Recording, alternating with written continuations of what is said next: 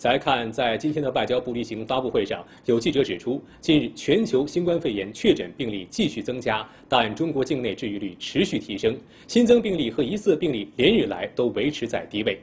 外交部发言人赵立坚就此介绍了中方近期在同有关国家分享防控经验和诊疗方案上的相关工作。昨天下午，中国外交部会同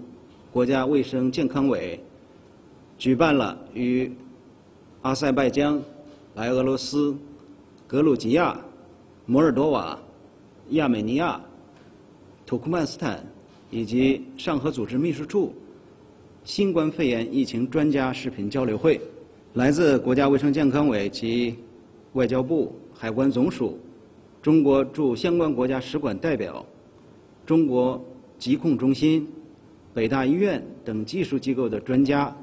相关国家外交和卫生部门、驻华外交机构、卫生领域专家及有关国际组织代表参加了视频会议。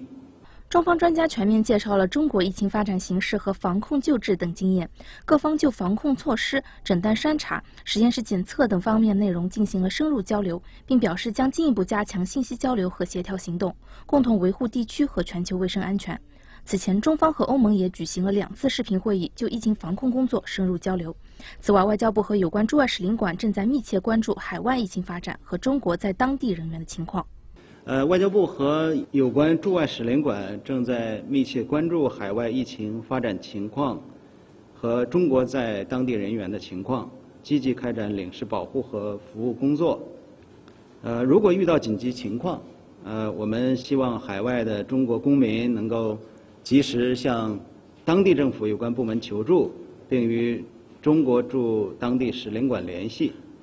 发言人还表示，如果疫情进一步发展，中国在当地人员的健康安全受到严重影响，中方将采取必要的措施，积极协助和安排他们回国。总台央视记者北京报道。